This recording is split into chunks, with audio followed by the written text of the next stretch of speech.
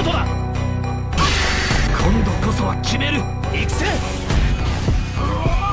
最終シュートだ若林源三をなめるな Yo, halo guys, yo, welcome back to my channel Oke, apa kabar kalian semua? Semoga sehat-sehat selalu ya Balik lagi ke Captain Space Dream Team Dan kita bakal ke review ya Jadi di sini kita bakal ke review uh, Muller Revamp ya Jadi ini Muller Revamp sudah di-upgrade banget nih ya kan Gelo cuy jadi memang catnya gede ya, tapi physicalnya kecil ya. Tapi yang bikin dia kuat itu adalah F ini ya. Uh, bukan ini, ini long fit doang sih.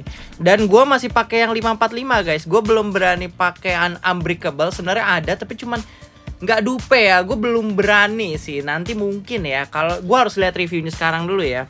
Terus habis di sini ada full power gods up 20%, counter move 5% sama full body stand 20%.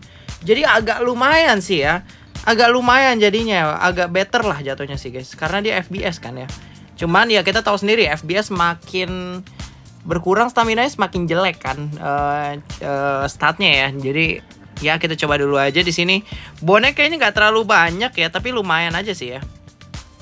Dengan non Japanese attack. Oke kita langsung review aja ya Muller ya. Nah di sini ditemenin sama swipe gue Yose ya. Jadi dia menggunakan Muller mungkin gue bakal coba si Mullernya si Yose itu gue aduin sama rival ya. Dan si Muller gue gue aduin sama Snydernya dia ya. Kita cobain aja. Let's go. Lumayan sih ya beberapa uh, nge-tag gue hasilnya sih lumayan bagus sih ya. Oke okay, bon auto intercept tapi gue bawa PP hmm, 110% nih oke. okay. Kevin. Oh sorry. Gue miss banget sih parah. Weh. Tumben operannya si Jose.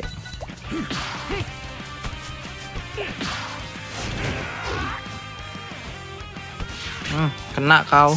Intercept. Waduh interceptnya ada dua aja eh. uh, aman.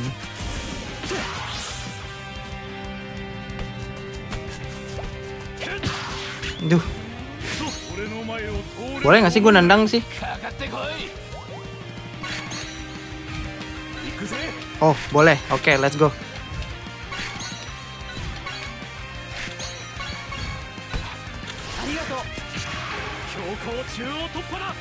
Oh boleh sih ya diadu ya bener ya Jangan pakai hotline saya, biarin aja lah stamina habis ya. Karena kita juga mau ngetes juga kan ya. Coba kalau pakai si mule eh pakai si ini ya, rival ya, bisa langsung nangkep gak guys?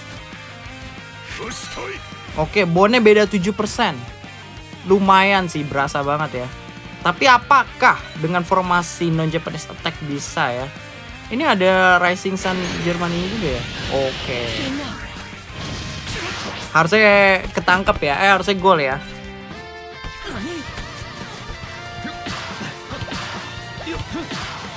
Gelo cepet banget ya. Oh peran yang sangat baik di situ dari Jose ya guys ya. Oke kita biarkan saja karena kita juga mau pengen lihat ya. Tapi gue nggak unbreakable. Ini yang bahaya sih. Ini bonnya lumayan gede nih si Jose ya. 90 bro Kayaknya sih nggak bakal kuat ya kalau bonus 90 ya.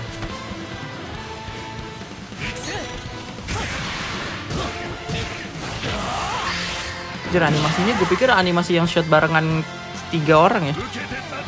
Oke, beda 3% dan kayaknya sih nggak bisa sih guys. Ya nggak bisa cuy. What?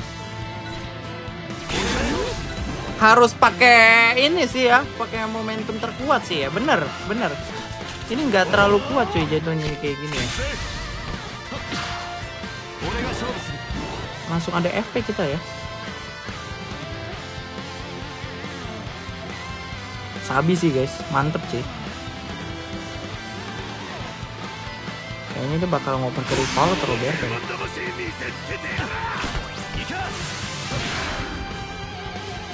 Masya Allah. Buset. Bisa begitu, bro. Gelo, keren juga yang oper ya. Ke belakang.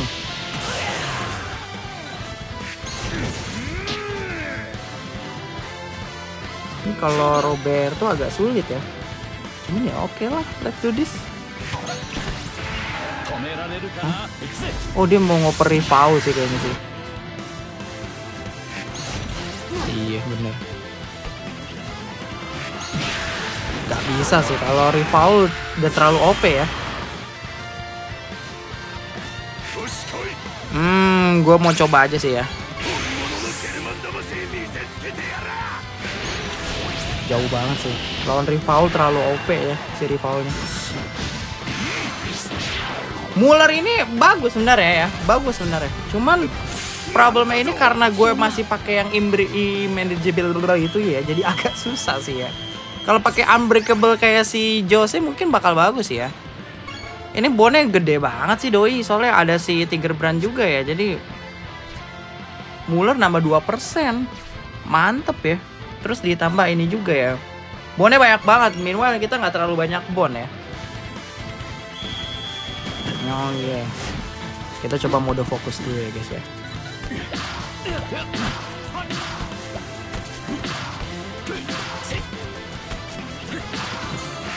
nggak bisa kan?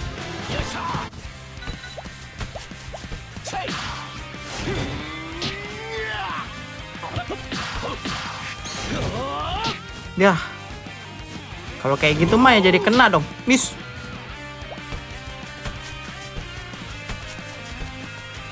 Oke okay, nggak apa-apa tapi di blok. Ya udahlah kita coba dribble dua kali aja.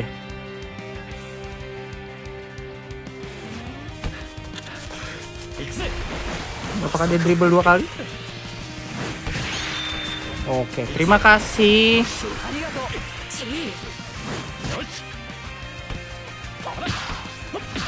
Oke gua coba high ball kali ya. Tapi ini ada hotline sih, jadi nggak adil ya. Oke, untung low ball. Nggak adil kalau hotline. Nah, ini coba kalau face to face ya. Ini bonnya berarti lebih banyak si Jose ya daripada gue ya. Ini bonnya lebih banyak si Jose nih. 90 lawan 87 dia ada unbreakable iya jauh sih guys God hand sama unbreakable bedanya hampir 20 eh, 20 momentum jadi harusnya lebih kuat ya tuh kan Bener.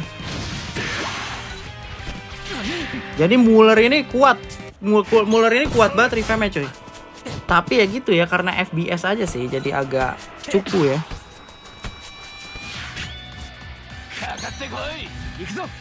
Ini mah di dribble juga diseret.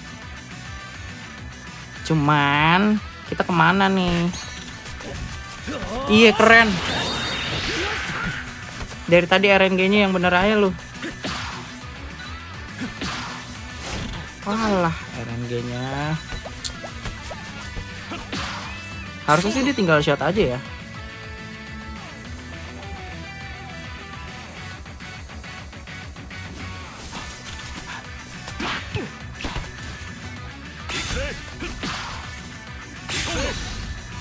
Ini harusnya dia bisa ngoper ke Sester dulu sih. Kalau boneka kalah nggak bisa sih guys. Kalau boneka kalah nggak bisa ya harus setara minimal guys. Tadi itu beda tiga udah bisa beda jauh ya. Ya Allah masih aja disiksa bro. Gak bakal kuat sih ini Muller yang di sini. Soalnya stamina udah habis banget. Ini problemnya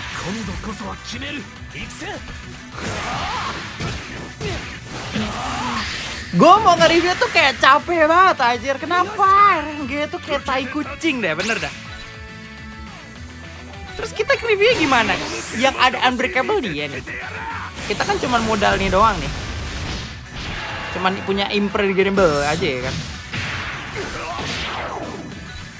Ya beda sih ya Mullernya ya. Satunya dia Mullernya bagus, yang satu Mullernya ya jelek gitu loh. Jadi ya dari skala 1 sampai 10 mungkin ini hasil revampnya bagus banget sih guys.